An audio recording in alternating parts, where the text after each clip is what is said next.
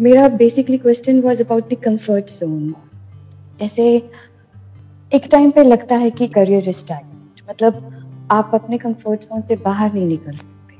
आप अभी जिसमें चीज़ में हो your your comfortable you know like सब कुछ है और कुछ नया करना मतलब you don't want to do it I mean you want to do it but आपको निकलना नहीं है. उसके लिए आपको शायद मेहनत करनी पड़ती है या फिर कुछ बाहर निकल के करना पड़ता है, या so what you're saying is कि करियर में एक ऐसा पॉइंट आ जाता है जहाँ पर जा करके एक स्टैग्नेशन आ जाता है इन द सेंस कि आप ग्रो करना चाहते हो, लेकिन ग्रो नहीं कर पा रहे हो because you are trying to do things in the same way जैसे आप पहले कर रहे थे, लेकिन क्योंकि अब सिचुएशन चेंज हो गई है तो और मे बी मार्केट में कंपटीशन बढ़ गया है, या फिर जो जहाँ से आपको पहले काम आता था, वहाँ से आना बंद हो गया है, या फिर मे बी अभी तो करेंटली तो ये कोविड की वजह से भी एक बहुत बड़ा इम्पैक्ट आ रहा होगा जो भी आप कर रहे हो उसमें।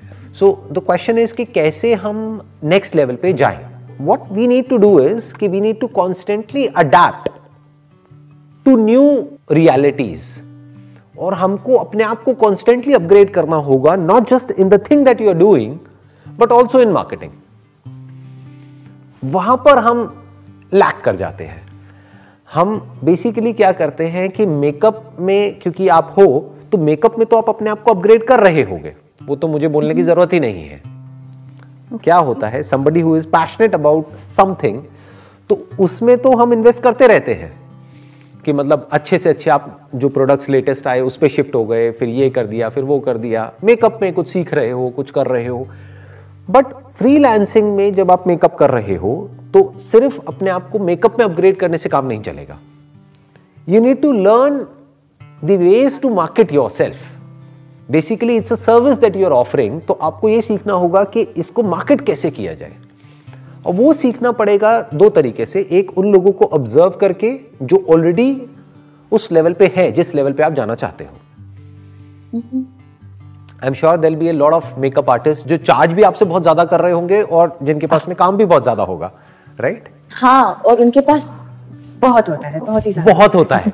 और ये फ्रीलांसिंग में बहुत कॉमन है ये वाला जो प्रॉब्लम है। उसमें क्या होता है कि जिसके पास में काम ज़्यादा होता है उसके पास में और ज़्यादा आता चला जाता है। Plus they are over charging also but उसी लेवल का काम अगर आप करोगे तो हो सकता है पेमेंट भी कम है और काम भी कंपैरेटिवली कम है राइट हाँ बेसिकली नाम बिकता है। अगर इसको आप और अच्छे से आप देखें तो it's more like a brand name मतलब your name is not just your name as far as freelancing is concern क्योंकि जॉब के डायनामिक्स अलग होते हैं। फ्री लैंसिंग में क्या चलता है? नाम बिकता है कि ये बेस्ट मेकअप आर्टिस्ट है इससे। अब वो बेस्ट किसने करा? उसको किसने डिक्लेयर किया कि वो बेस्ट है? क्या कोई ऑर्गेनाइजेशन है जिसने मिल करके उसके ऊपर ये स्टैंप लगाई कि ये बेस्ट मेकअप आर्टिस्ट है जर्मनी की? किसने कहा? वो कहाँ से बेस्ट कहाँ से हो गई वो? एकदम से बेस्ट कैसे हो गई? तो that best is basically a perception that is not a reality आज कोई और बेस्ट है कल आप भी बेस्ट हो सकते हो। तो इस परसेप्शन को कैसे चेंज करना है? That is the whole game you are getting where how I completely understand समझ में आ रहा है but how to get there? So i mean right. of course so, hard work. Hard work से नहीं होगा मेकअप में एक्सेल करने से नहीं होगा बिकॉज़ मेकअप में प्रॉब्लम क्या है कि जो भी आप मेकअप कर रहे हो सामने वाले को तो पता भी नहीं है कि आप क्या प्रोडक्ट्स यूज़ कर रहे हो। Basically they are more interested in कि आप कितने पॉपुलर हो। और उसके अलावा भी कि आपने किस लेवल का काम आप कर रहे हो। फॉर एग्ज़ाम्पल अगर मैगजीन में भी आप शूट कर रहे हो तो I you shooting for the inside और फॉर द कवर और वो मैगजीन भी किस लेवल की है? इज़ इट द बेस्ट और द सेकेंड बेस्ट और या फिर ऐसी है कि कोई पढ़ता ही नहीं है? Right right? तो अब सवाल ये उठता है कि ये जो बेस्ट है, ये जो बेस्ट वर्ड हम यूज़ करते हैं कि ये बेस्ट मेकअप आर्टिस्ट है, ये बेस्ट आया कहाँ से? ये एक परसेप्शन है। रियलिटी नहीं है। हम कहते हैं कि ये बेस्ट फोटोग्राफर है। बर्लिन का मान लो या जहाँ का भी। किस बेस पे बोलते हैं हम?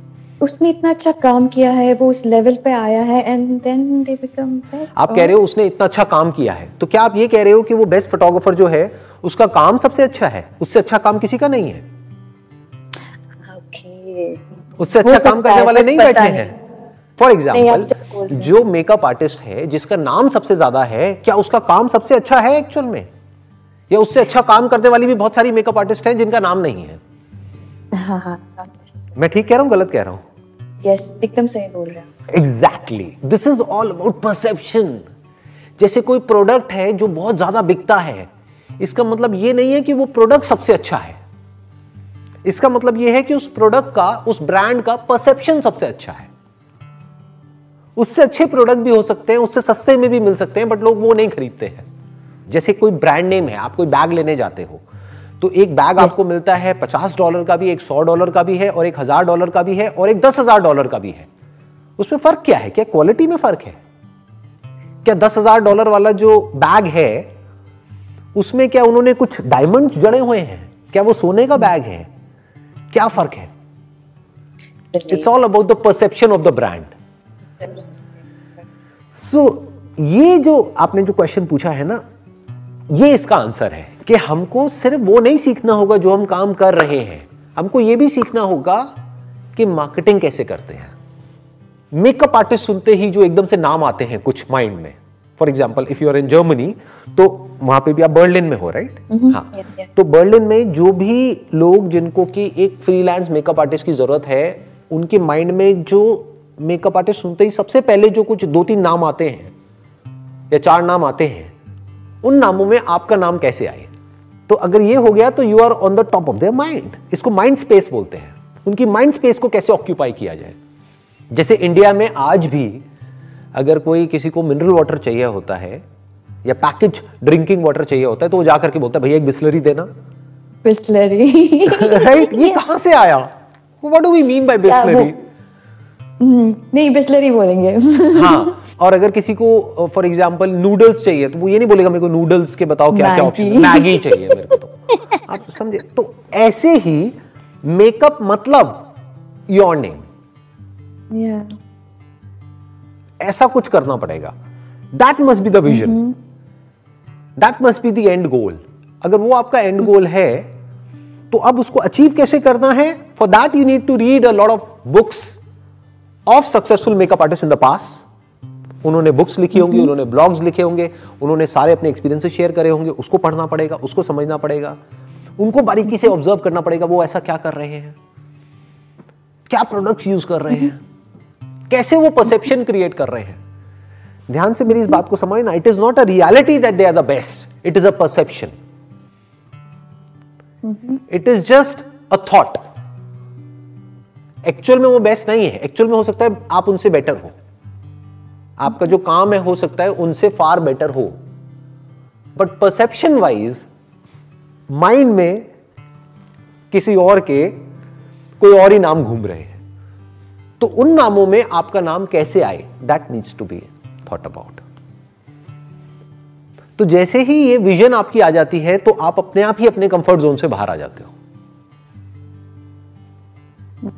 क्योंकि अब आपको एक गोल मिल गया।